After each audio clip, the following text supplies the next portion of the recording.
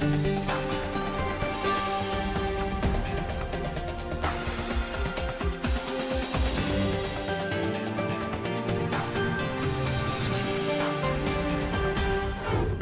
a context of increasing efforts to decarbonize supply chains, emerging economies are at risk of being left behind due to a lack of green infrastructure. How can emerging economies harness frontier technologies to support supply chain decarbonization and ensure the sustainable movement of goods? World Insight with Tian Wei brings you a panel at this year's World Economic Forum Decarbonizing Supply Chains leaving no one behind. Joining us, we have Ngozi Okonjo-Iweala, the Director General of the World Trade Organization, Helen Mountford, Chief Executive Officer at the Climate Works Foundation, Jacques Vandermeiren, Chief Executive Officer at the Port of Antwerp and Bruges, Jose Alejandro Rojas Pardini, the Minister of Private Investments at the Ministry of the Presidency of Panama, and Nicholas Mårtensson, Chief Executive Officer at the Stena Line AB.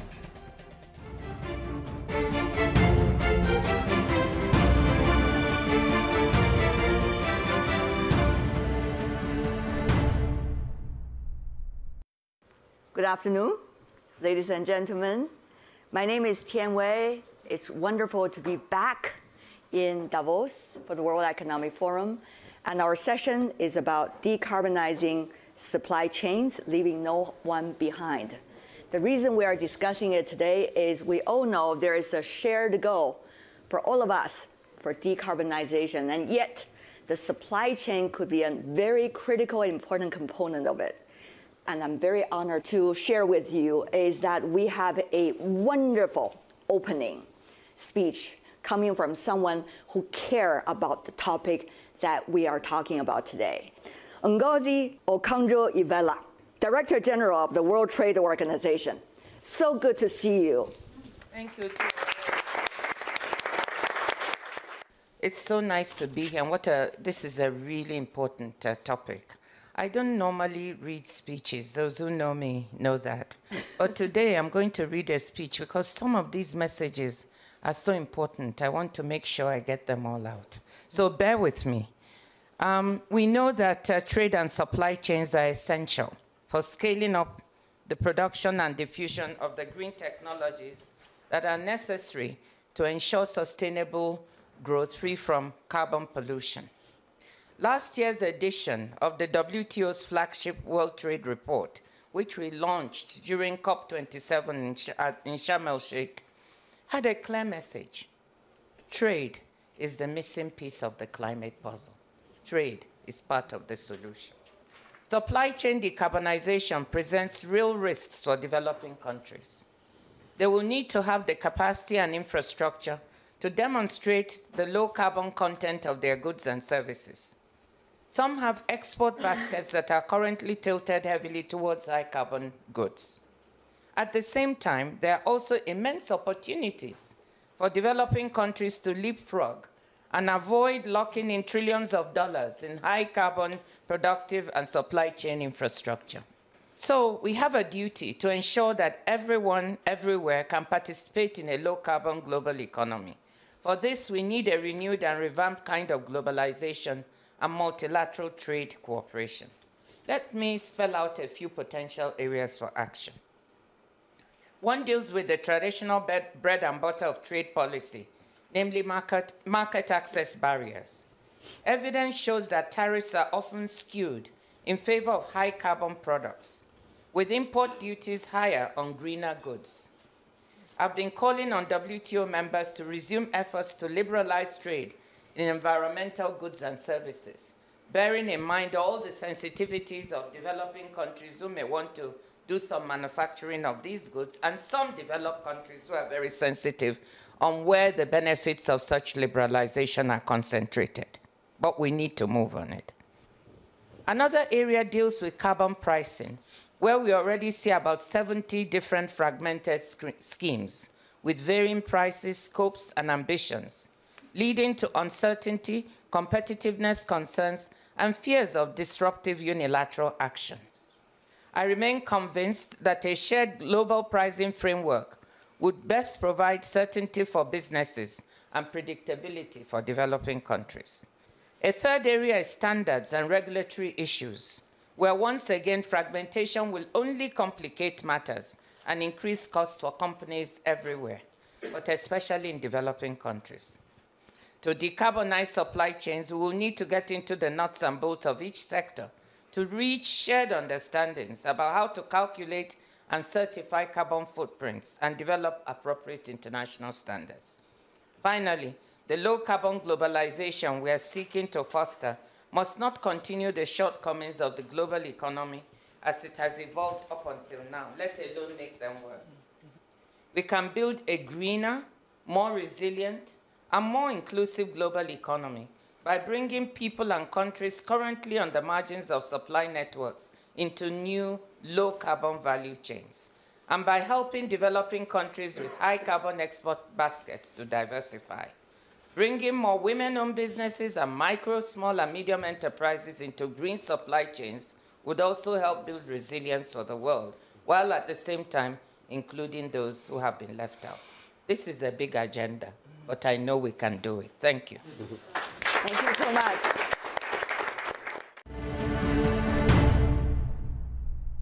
Now, Mr. Minister, you are coming from the government, and we see uh, Madam Director General pointing out several things technology, funding, standards, and uh, lack of uh, some of the resiliency issues. So, what do you see is the biggest challenge to you and your country as a developing country?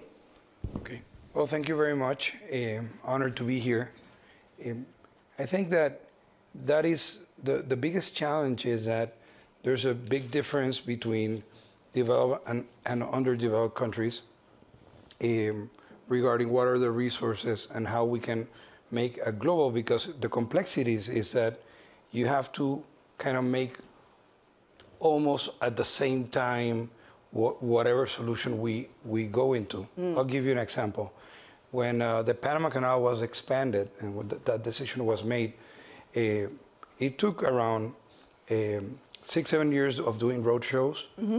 Uh, and when those road shows were being done, you had to get the different ports, specifically the ports in the United States on the Atlantic side, that they would buy into it. Because what would it work? It wouldn't have worked if you expand the canal and then you wouldn't have the use for it on, on, on the Atlantic side.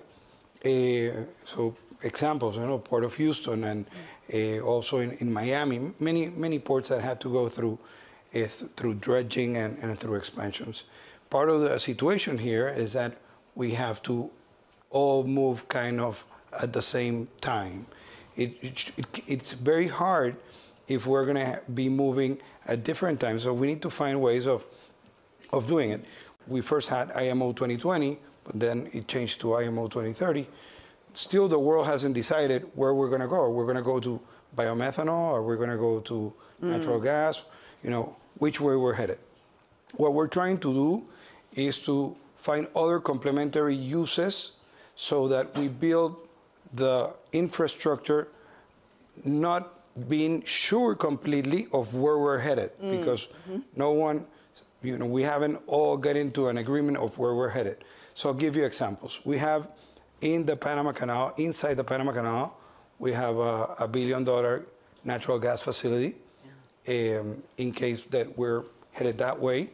We, it started because it was more for energy for having firm capacity, but understanding that uh, there could be the opportunity there to expand for, for shipping if that would be the case. And now we're increasing the capacity and, and we're having a $1.2 billion investment also next to it on natural gas. Uh, but uh, since governments, we believe either that governments really have to create the conditions and the public policy, so uh, and and have the the private sector making these investments. In some cases, public-private, like the 1.2 billion dollar project I just talked about. That it's yeah. Panama has 25 percent of, of, of the shares, but we're also trying uh, pushing for there's a, a private group in, in, which involves Goldman Sachs, Fluor, um, different companies. Uh, I see. Uh, and, and they're pushing for a $7 billion a biorefinery and looking at also producing a green hydrogen. So we don't we are not completely sure where we're headed, but we wanna in advance trying to push understanding that you cannot build something only for a purpose because until we have clarity of, of where we're gonna head both ways or three ways or only one. Uh, so we're trying just to prepare and, and create a condition so that the public sec- private sector can help us. But if we're having that problem, I could imagine that there's many other places Who share the same who or have similar. or, or even bigger challenges. I see. That's a great point because it's very pragmatic. Mm-hmm. A, a consensus about timetable and a consensus of shared goals. Uh, and also consensus about technologies and methods. Uh, on that, I want to go to Helen because you have been working with your partners, philanthropies, for example, to work on these uh, decarbonizing projects, particularly in emerging and developing countries. So, how are you figuring that out? You know, some of the problems that uh, Mr. Minister frankly pointed out about lacking consensus of at this point. Thanks very much. It is, it's definitely a challenge. And one of the things we're looking at is not just as, as Ngozi so eloquently put, Yeah. um, explained the whole challenge around decarbonizing supply chains, getting products moving, and how trade can play a role in that, but actually how do we transport those goods? Um, and so we're working together with philanthropy, with partners on the ground in multiple countries around the world on how can we actually help to decarbonize shipping, how can we help to decarbonize trucking, um, and move that forward. And so, just one example I can give from from trucking, um, something very exciting that we launched as part of the Drive Electric campaign. Just last November, we launched a new um, new initiative, a new fund called LEAP, which is leapfrogging to e-mobility acceleration partnership. So trying to do the leapfrogging that was mentioned before by Ngozi, um, and we're working with 10 countries. Um, we've got Brazil, Burundi, Chile, Colombia, Kenya, Nigeria, Paraguay, Philippines, South Africa, and Uganda. Mm-hmm. And what we're doing with each of those is pilot testing approaches on the ground on how to leapfrog to e-mobility. Um, similarly, in shipping, there's a lot to be done. There's there's also massive opportunities. Mm-hmm. Mm-hmm. I'm glad because you addressed some of the earlier concerns that Mr. Minister just mentioned, which is we do not know what is the best way, and therefore we have the pilot projects to show what might be the best way. There are two uh, wonderful gentlemen sitting here coming from the business community. You have to know what you're doing. uh, because it's a business that you're running. There are bottom lines of business uh, about creating values, for example, for your shareholders and the public. So when you know there are uncertainties, yet there's shared goals, what are you doing? How do you test and pilot and probably even have some good examples already that you can share here today? Jacques? Well, uh, pioneering together, if I can resume the whole thing or the whole approach. So uh, we have to move from uh, fossil fuels to uh, renewable ones. So green molecules, green electrons, that's the future. So we will have to collaborate and to cooperate, especially in looking at the shipping industry. And Nicholas will confirm uh, in, in, in a minute uh, the approach of, of uh, shipping companies. But of course, the decarbonization of the shipping industry will happen on sea or in the, in the waters, but also on land, because we will have to bunker if uh, Nicholas believes in, for instance, green ammonia or green methanol as the future uh, uh, fuel for, for his ships. Well, a ship uh, sails from, from port to port. Then we need infrastructure in those ports and in every port not only in the developed countries, but also in the other one. So you, you need a collective approach, and we need uh, yeah, solutions that will be figured out by a community. And that's uh, the wonderful thing here in, uh, in Davos. We have a governance meeting regrouping all the big actors or main actors of the supply chain. Yeah. And we think in solutions for the, for the future with shipping companies, but also with, with ports and, and with the forwarders. So what are you doing right now? Well, we are uh, uh, currently, the, the no-brain approach is infrastructure. We have to build uh, uh, the, the, the terminals, the pipelines, the storage capacity. For Give us the, an, a few examples that you think you would love to work uh, uh, with uh, Nicolas. Well, uh, if, if, we, if Nicholas uh, wants to use green, green ammonia, that green ammonia will have to be produced somewhere. And, and the interesting thing here is for producing green ammonia, you need lots of wind and sun and space. And uh, uh, we have that on Earth, not uh, especially in, uh, in, in Europe, but maybe you have them in Namibia or in Chile or in Australia or in Egypt or in Morocco or in Oman.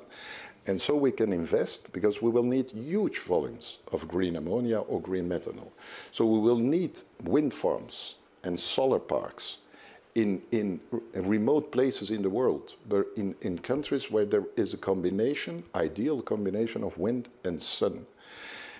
And then we will have to build ports in those countries to liquefy the sun and liquefy the wind and to export this to other places. Mm-hmm. And who will uh, transport those volumes of green ammonia and green methanol, for instance? Well, it's the shipping industry, and they can use it as a fuel in the meantime. What about uh, for you? Martin?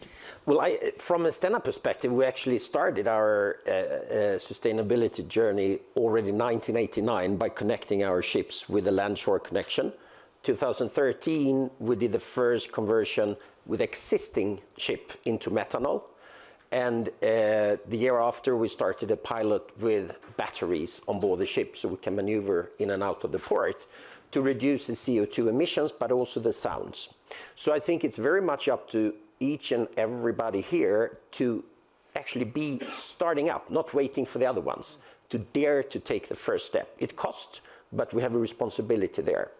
But then I think to combine all those initiatives, and now not only talking about Stena or the shipping industry, but talking about the entire transportation and supply, I think nobody can do it alone, but everybody can make it together in that case. And, and when I see, and, and there is a lot of frustration in us where we see that um, there are willingness and there are a technology ready, but the infrastructure, as Jacques said, Right. the infrastructure is sure to make it available with green energy. That's the puzzle we are missing here. Because if we get that one, and we got Helen uh, um, investing in the small uh, developing countries who actually are the one who taking the big hit. They are not the big emissioners, but they are the one taking the big hit investing in the green um, uh, uh, infrastructure in West means also that then we can avoid the discussion about uh, lost and damages. Because now all of a sudden we're trying to get so much money into lost and damages of the developing countries because the West continue living as, as we are. So I think the society need to come together, invest in green infrastructure in West, to reduce the, the damages and losses in, in, in the poor countries, the developing countries, at the same time as we got the people who have the money close to their heart and want to make a better life here, then I think we start understanding. And then, as Minister also said, that countries actually do um, open up for businesses to dare to invest. To make that happen is extremely important from a governmental perspective because we are interested in doing those investments. I certainly applaud all your efforts and all your thinking. However, coming from an emerging economy myself, I think there's one thing a lot of people have in mind from our parts of the world, for example, uh, that um, what about some of the leapfrogs we are talking about here? Um, it is wonderful, leapfrogging of infrastructure, leapfrogging of technologies, but some of the very basic uh, needs in the developing countries, Mr. Minister knows this better than I do, are still need to be taken care of. So they have a lack of funding, uh, while at the same time they are fascinated by all these uh, uh, common shared goals that we are talking about here. Uh, so how to concentrate the resources to the right place, and there will be less waste of resources at the end of the day, and also to make sure the process would not be decades long, because people have cannot just wait for uh, a, a, better future. I think that is also a question we really need to bear in mind. Uh, Mr. Minister, correct me if I'm wrong. No, I completely agree. I, I, that's why, I mean, the funding, when there's uncertainty, it's hard to get that funding. And obviously, I think that the, the, the shipping industry, that in many cases also own ports, uh, are the ones that, that can help us lead the way. They, they know about their cost. We, we don't know about their cost structure. But, but talking, you know, together, then the policies can be done in order to, to push that. In, in, in our case, and, and uh, to be blunt, we are still, uh, we passed a law recently on, on voluntary uh, carbon credits, mm-hmm. but we are very concerned about trying to do it right and having you know good quality because it could be a way of funding some of these projects uh, but also in the past uh, there has been mistakes on, on, on the quality of them so so it's the, the funding without a doubt is very important, and we'll have to uh, we'll need support of multilaterals mm-hmm. and many are in order to to create that. Mm. Nicholas, as a business person, you are here to provide solutions. That's your daily job. So, what about the questions uh, Mr. Minister just mentioned? Mm. No, but I think uh, I'm, I'm coming back. Uh, of course, that's we need to take we dare to take risks. I think that's extremely important. And, and there are some projects that we can't always focusing on the P&L to the bottom line every day to make life better. But I think I'm coming back to it's not just up to one part here. I think if with the willingness we see in the entire industry of supply chain, how we can actually capitalize on that willingness to open up more projects in those countries who are in the need of it. So so the willingness is there. There are so many, um, many good examples when we see, for example, in, in the port of Gothenburg, we are together with Volvo Trucks and Scania cooperating in a electrified model for the future. And it's there.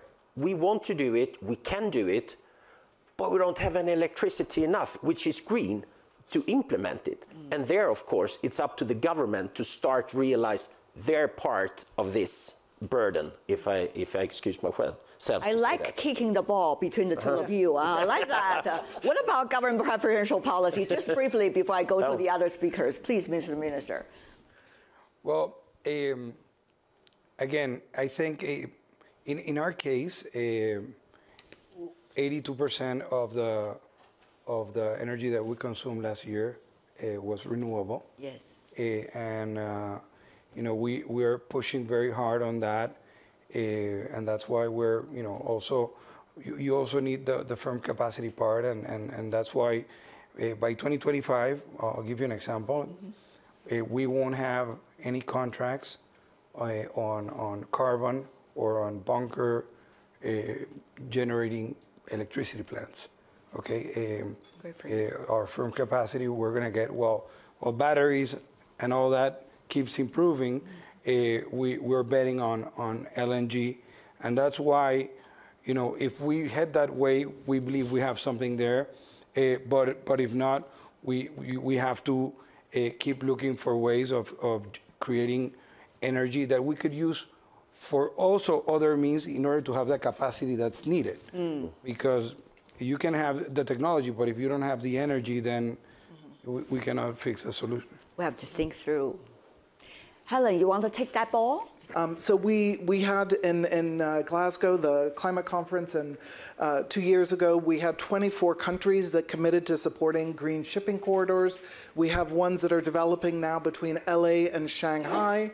Um, we've got ones uh, one for mining companies between Australia and some some ports in East Asia, looking at using ammonia powered ships there. So we're starting to to look at how to actually develop these. Mm. And again, it's something which I think can be very practical applying at a local level. But I mean, if you take LA, Shanghai, that's one of the busiest transport routes for freight, right, on, on the seas. So it's a very practical approach, getting all the right stakeholders in the room, making sure there's the energy sources, there's the solutions in terms of fuels, making sure we've got the right ships, we've got the, the buy-in and the demand, to be frank, um, from those who are doing the shipping, uh, who are shipping their products. Mm-hmm. Um, and so it's really those partnerships and that leadership. But one more thing on this, if I could, just uh, in terms of leadership, this is a moment where we have the climate crisis so much more stark. The, where we are now is so much worse than where scientists thought we would be at this stage. And it's, it's a very strong call here at Davos to wake up and to actually take the action we need. But also, if you look at shipping, for example, there's enormous effects on, on human health as well. 60,000 people die each year, it's estimated, from shipping fuel pollution, because it's a very heavy oil, very, very polluting fuel. So that is affecting people in different ports. So we have an opportunity here, and we've got an opportunity for leadership. We've seen, we've seen that from a number of shipping companies. Um, I'd mentioned Maersk as well, who back in 2018 set a net zero target for all of their shipping by 2050. And we're very clear, they didn't know how they were going to get there but they were big enough and they knew they could work with the manufacturers of the ships and with those who manufacture, uh, produce mm-hmm. the fuels to find the solutions. And since then, they've become even more ambitious. Jacques, any inspiration? Well, collective, uh, collective action is what we, what we need in a very complex and, and, and, and, and very difficult uh, uh, supply chain. So, collective action and leadership. And, well, people and companies uh, uh, dare to, to, to pioneer and to invest. But uh, we have to do this together. And the, the big question is with global warming, what is the sense of urgency? What is the time frame that we have? Do we think we have decades or what is the time frame? What do because, you think? Well, I, I think as a European, we have as a continent uh, a Green Deal saying 2050 we want to be climate neutral. So that, that's a clear uh, uh, uh, timeline. So then you have to do things. But the most in, in important thing, 2050 is 27 years from here. The more interesting is to know 2030, where are we? And that's if we want to reduce mm-hmm. the, the CO2 emissions in, by 2030, well, that's seven years from here. And then we have to do things right now without knowing if the technological option is the, the, the right one. So again, it's, it's pioneering and we need a coalition of the willing. And mm. I believe in yeah. seeing is believing and, and, and walk the talk. And as a port, we have a small fleet compared to the fleet of uh, Stena. Uh, it's a small fleet of tugboats. Yeah and we will invest, and we, we did that. Uh, and in a few weeks, we will, we will inaugurate the first hydrogen tugboat in the world, which is the very first one. We will not solve the, the, the CO2 uh, problem of, uh, of the shipping industry, but as you, there are more than 20,000 tugboats in the world. If, and they, hopefully they will all come to Antwerp to see that very first hydrogen tugboat. And if you can show that it works, then hopefully we will be copied. Yes, please. No, just saying, just what we heard from, from the General uh, Secretary here before, how important the trade is, and then comparing that 90% of all the goods in the world are traded on the sea yeah. with less than 3% of the emission, just to get some kind of dimension of the problem. But what's one of the road bumps here, what we see without getting the investments enough, we see that administration and regulatory is also a very ba bad barrier for us to think on the transition itself. All of a sudden, we need to create more administration to actually live up to all contradictions with KPIs that are in the world right now. Mm. So make it simple because then it also will happen. So thank you so much, everyone on the stage and off the stage. We're looking forward to future cooperation. Thank you. Appreciate it.